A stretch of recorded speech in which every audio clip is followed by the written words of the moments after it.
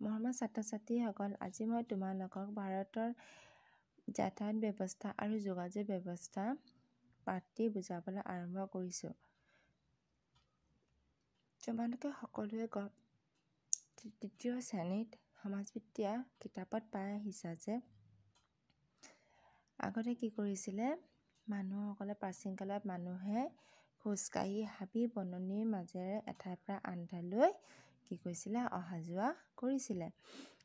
তাৰপিছত কি হয় পৰিবহণৰ বাবে কি কৰিছিলে তেওঁলোকে প্ৰধানকৈ জলপথ আৰু পানীত চলা নাওজাতীয় বাহন ব্যৱহাৰ কৰিছিল।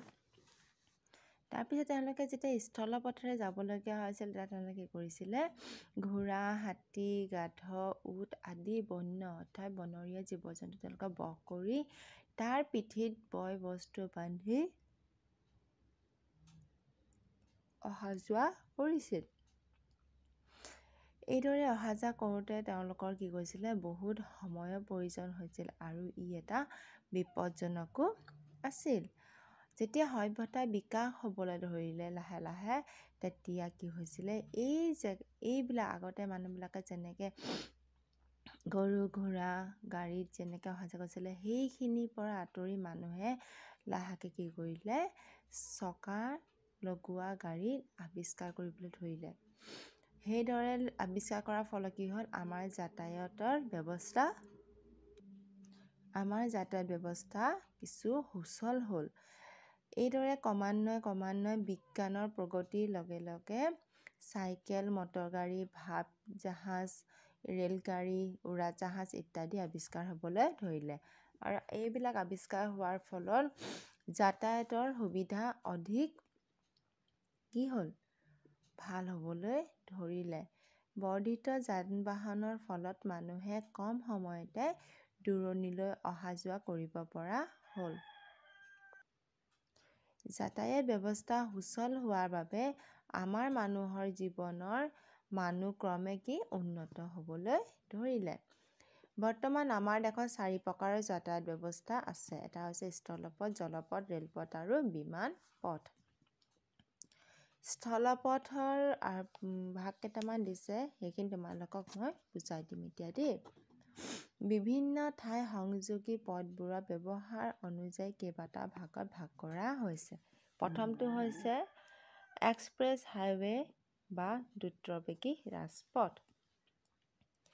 দেশৰ বিভিন্ন প্ৰধান অঞ্চলক সাঙুৰি কিছুমান বহুলেন বিশিষ্ট দ্ৰুতবেগী ৰাজপথ নিৰ্মাণ কৰি উলিওৱা হৈছে। যেনে যেনে Mumbai-Pune express highway, দিল্লী-আগ্ৰা express highway আদি। তদুপৰি গুজৰাটৰ পৰা শিলচৰলৈ আৰু কাশ্মীৰৰ পৰা কন্যাকুমাৰীলৈ এটা যোগ চিনৰ আকৃতিৰ হোৱাকৈ বহুলেন বিশিষ্ট দুটা এক্সপ্ৰেছ হাইৱে নিৰ্মাণৰ কাম প্ৰায় শেষ পৰ্যায়ত আছে। এক্সপ্ৰেছ হাইৱে মানে কি গম পাইছানে এডোখৰ ঠাইৰ পৰা আন এডোখৰ ঠাইলৈ যাবলৈ সুবিধা হোৱা। যাতে গাড়ী-মটৰৰ সুবিধা হয়। যাতে ধুনীয়াকৈ আমি যেনেকৈ নগাঁৱৰ পৰা মৰিগাঁও, গুৱাহাটী যাবলৈ আমাক কি ৰাজপথ ৰাষ্ট্ৰীয় ঘাইপথ দিছে ঠিক সেইদৰেও কি কৰিছিলে মুম্বাইৰ পৰা পুনে যাবলৈ দিল্লীৰ পৰা আগ্ৰালৈ যাবলৈ কি হৈছিলে হাইৱে এক্সপ্ৰেছ কিছুমান বহুলেনযুক্ত কি কৰিছিলে নিৰ্মাণ কৰি দিছিলে। তেনেকৈ দেশৰ চাৰিখন প্ৰধান চহৰ চেন্নাই, মুম্বাই, দিল্লী, কলকাতা সংযোগ কৰি ভাৰতত অন্য এটা বৃহৎ ৰাজপথ নিৰ্মাণৰ যোজনাও এতিয়া চলি আছে। সেই যোজনাটোক কি বোলে সোণালী চতুৰ্ভুজ বোলা হয়। এই আটাইবোৰ পথৰে নিৰ্মাণ কৰাৰ দায়িত্ব হৈছে কাৰ কেন্দ্ৰীয় চৰকাৰৰ।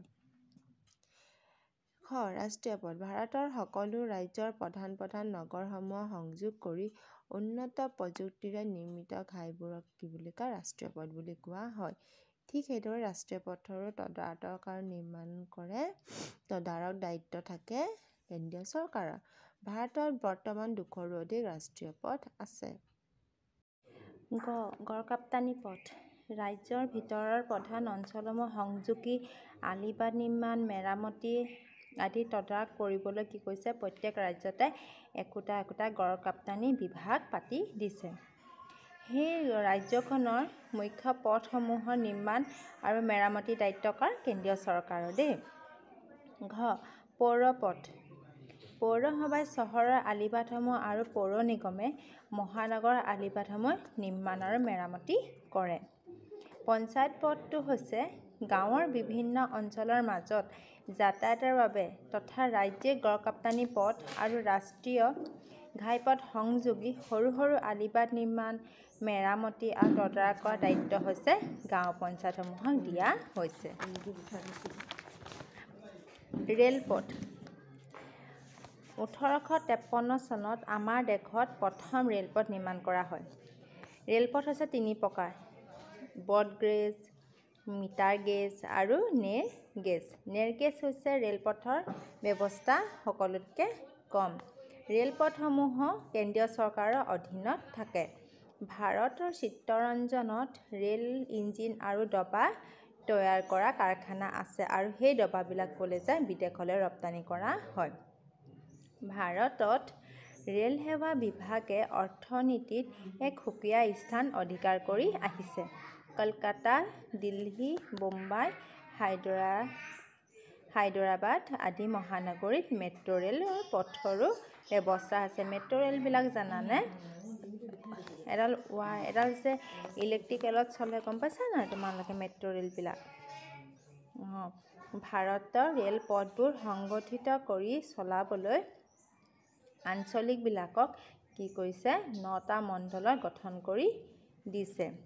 দুহেজাৰ এক চনৰ পহিলা জানুৱাৰীৰ পৰা ভাৰতীয় ৰেলক পোন্ধৰটা মণ্ডলক ভাগ কৰি দিছে। সেইসমূহ হৈছে চোৱা এইখিনি। ৰেল মণ্ডলৰ নাম প্ৰধান কাৰ্যালয় এই ৰেল মণ্ডলসমূহ যে দিছে সেইখিনি প্ৰধান কাৰ্যালয় ক'ত ক'ত আছে তোমালোকক সবিশেষ কিতাপত বহলাই দি দিছে। দেই প্ৰথমটো হৈছে উত্তৰ পূব সীমান্ত ৰেলপথ মালিগাঁও গুৱাহাটীত আছে। পূব ৰেলপথ কলকাতাত আছে। দক্ষিণ পূব ৰেলপথ কলকাতাত আছে। উত্তৰ পূব ৰেলপথ গোৰখপুৰত আছে। মধ্য ৰেলপথ মুম্বাইত আছে। পশ্চিম ৰেলপথ মুম্বাইত আছে। তাৰপিছত উত্তৰ ৰেলপথ নতুন দিল্লীত আছে। দক্ষিণ ৰেলপথ চেন্নাইত আছে। দক্ষিণ মধ্য ৰেলপথ ছেকেন্দ্ৰাবাদত আছে। উত্তৰ পশ্চিম ৰেলপথ জয়পুৰত আছে। উত্তৰ মধ্য ৰেলপথ এলাহাবাদত আছে। পূব মধ্য ৰেলপথ হাজিৰপুৰত আছে পশ্চিম মধ্য ৰেলপথ জব্বলপুৰত আছে পূব উপকূলীয় ৰেলপথ ভূৱেনেশ্বৰত আছে দক্ষিণ পশ্চিম ৰেলপথ বাংগালোৰত আছে। এইখিনি তোমালোকে মুখস্থ কৰিবা দেই।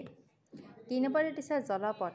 ভাৰতৰ প্ৰধান প্ৰধান নদীবোৰেদি বিশেষকৈ উত্তৰ ভাৰত নদীবোৰত যি সৰু সৰু জাহাজ আৰু নাও আদি চলাচল কৰে সেই জলপথৰ যাতায়াত ব্যৱস্থাটো আভ্যন্তৰীণ জল পৰিবহণ বুলি কোৱা হয়। বিদেশৰ লগত বেহা বেপাৰ কৰিবলৈ জল পৰিবহণৰ ব্যৱস্থা আছে।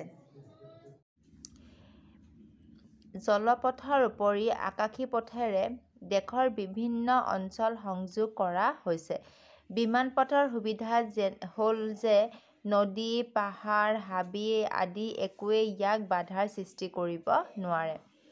আমাৰ দেশৰ প্ৰধান নগৰ চহৰ আদিৰ উপৰি আন দেশৰ লগতো বিমান সেৱাৰ ব্যৱস্থা কৰা হৈছে। কলকাতা দিল্লী মুম্বাই চেন্নাই আৰু গুৱাহাটী আদি বিমান বন্দৰৰ পৰা বিদেশলৈ বিমান চলাচল কৰে। তদুপৰি অসমৰ বিমান বন্দৰ থকা ঠাইসমূহ হৈছে তেজপুৰ যোৰহাট ডিব্ৰুগড় লখিমপুৰ আৰু শিলচৰ। উত্তৰ পূৰ্বাঞ্চলৰ ইটানগৰ তেজু ইম্ফল আইজল ডিমাপুৰ আৰু আগৰতলালৈকে বিমান সেৱাৰ ব্যৱস্থা আছে। বিমান সেৱা মানে গম পাইছানে আকাশেদি যায় যে।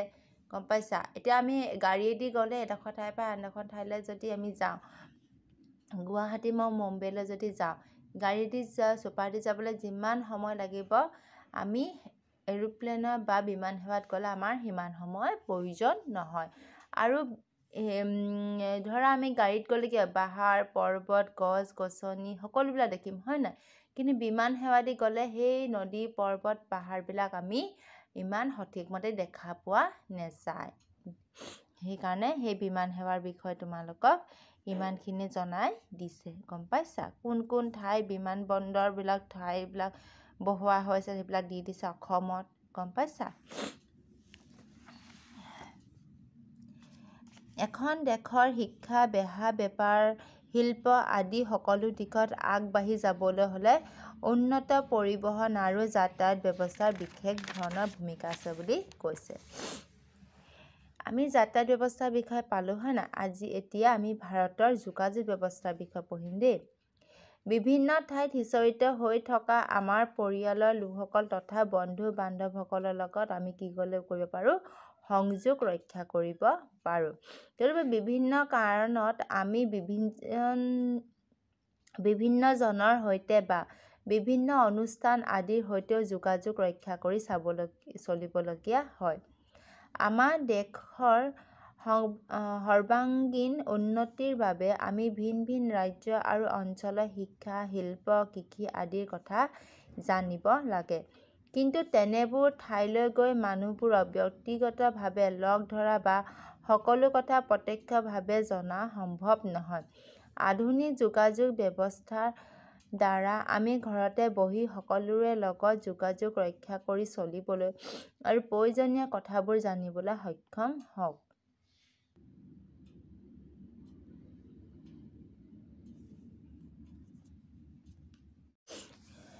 তোমালোকেতো এতিয়া গম পাইছে যে যোগাযোগ মানে হৈছে আমি বিভিন্নজনৰ লগত আমি কি বাৰ্তালাপ কৰিব পাৰোঁ বিভিন্ন বিভিন্ন ঠাইত থকা লোকসকলৰ লগত আত্মীয়ৰ লগত আমি কি কথা বতৰা পাতিব পাৰোঁ হয় নাই?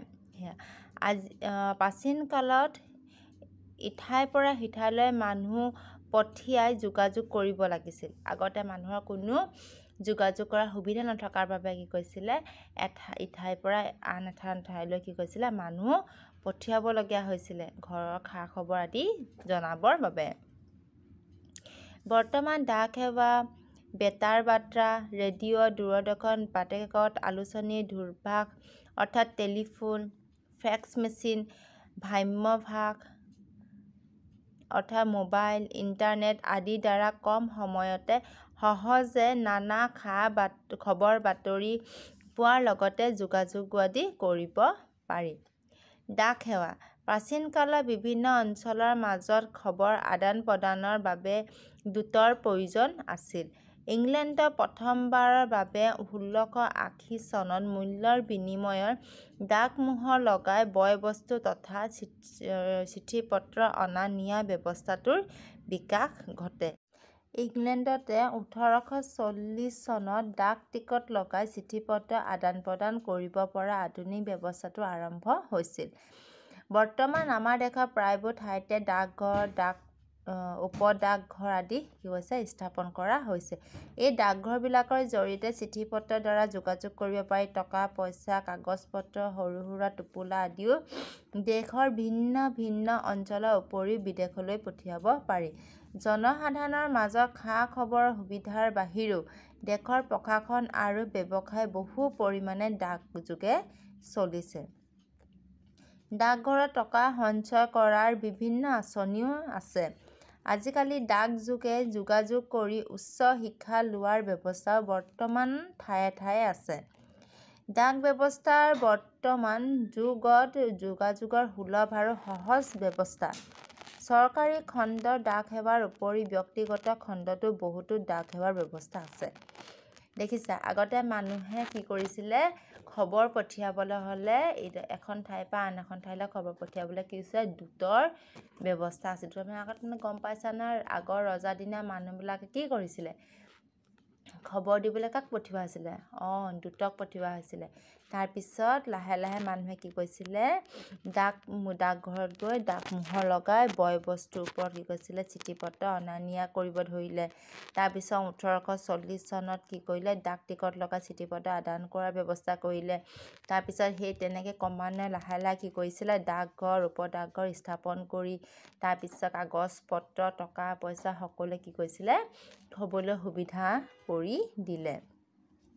আৰু আজিকালি আৰু এটা সুবিধা দিছে তোমালোকে পাইছা নহয় ডাকযোগে কি কৰিছিলে উচ্চ শিক্ষা লোৱাৰ কি কৰিছিলে বৰ্তমান ঠায়ে ঠায়ে সেই সুবিধাবিলাক দিয়া হৈছে। ডাক বিভাগে বিভিন্ন সময়ে বিশেষ ব্যক্তি তথা উল্লেখযোগ্য অনুষ্ঠান প্ৰতিষ্ঠান বা কোনো বিশেষ ঘটনাৰ স্মাৰক হিচাপে ডাক টিকট প্ৰচলন কৰে। এই ডাকটিকটসমূহৰ পটভূমি বা প্ৰেক্ষাপট ভালকৈ অনুসন্ধান কৰি চালে নানা বিষয়ৰ কথা কি কৈছিলে জানিব পাৰি। দেশ বিদেশৰ ডাক টিকট সংগ্ৰহ কৰি ৰখাটো এটা ভাল অভ্যাস বুলি কৈছে। বেতাৰ বাৰ্তা দূৰভাষ আৰু মোবাইল ফোন। বৰ্তমান কালৰ যোগাযোগৰ অন্যতম ব্যৱস্থা হৈছে বেতাৰ বাৰ্তা দূৰভাষ আৰু মোবাইল ফোন। দূৰভাষৰ যোগেদি আমি দূৰ দূৰণিত থকা মানুহৰ লগত কি কৈছিলে আমি কথা পাতিব পাৰোঁ। গম পাইছা? বিভিন্ন ধৰণৰ মনৰ কথা কি কৈছিলে? আদান প্ৰদান কৰিব পাৰোঁ। ভাল বেয়া কথা আমি কি? সুধিব পাৰোঁ। দূৰভাষ মানে হৈছে টেলিফোন। বৰ্তমান প্ৰায়বোৰ ঠাইতে বেতাৰ বাৰ্তা আৰু দূৰভাষৰ সুবিধা আছে। বেতাৰ বাৰ্তাৰ যোগেদি কি কৰে মানুহে দেশ বিদেশৰ ঠাইলৈ খা খবৰ বাতৰি পঠিওৱা হয়। তাৰপিছত ওঠৰশ সাতষষ্ঠি চনত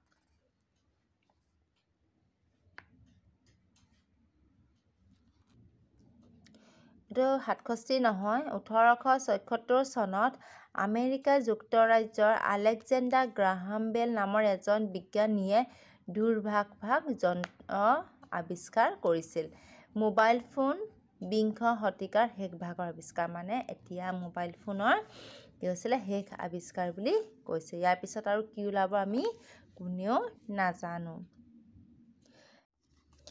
ৰেডিঅ' ওঠৰশ পঁচানব্বৈ চনত ইটালী দেশৰ মাৰ্কিন নামৰ এজন বিজ্ঞানীয়ে ৰেডিঅ' আৱিষ্কাৰ কৰিছিল।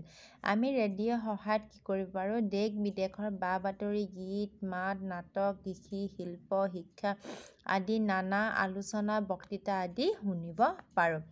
সেইবোৰৰ পৰা আমাৰ কি হয়? অনেক বিষয়ৰ জ্ঞান বৃদ্ধি হয় আৰু আনন্দ উপভোগ কৰিব পাৰোঁ। ভাৰত চৰকাৰে আকাশবাণী নাম দি কি কৈছিলে? দেশৰ নিৰ্বাচিত স্থানত সমগ্ৰ দেশ সংযোগী অনাতাঁৰ সম্প্ৰচাৰ কেন্দ্ৰ তথা উপকেন্দ্ৰ স্থাপন কৰি দিছে। দূৰদৰ্শন দূৰদৰ্শন হ'ল যোগাযোগ ব্যৱস্থাৰ এটা উন্নত আৰু শক্তিশালী মাধ্যম। ঊনৈছশ ছাব্বিছ চনত স্কটলেণ্ডৰ জন লগী ৱেড